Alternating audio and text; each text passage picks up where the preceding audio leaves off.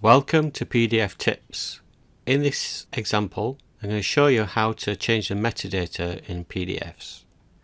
So to do this, you need full version of Adobe Acrobat. The link to the trial version is in the description of this video. So once that is installed, you can just double click on the PDF, which will open up in Acrobat Pro. Then click on File menu, Properties. In here, under the description, you'll see the title, author, subject keywords.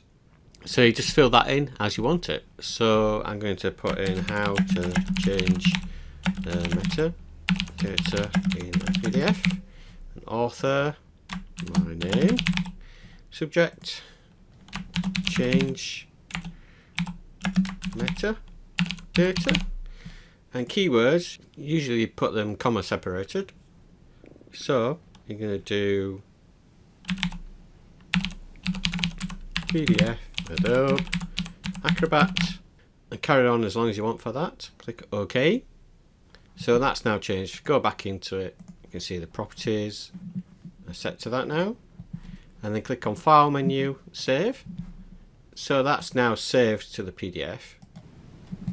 So if I double click that to open it again, I can see that it's now set to that information. And that's it. Give it a try.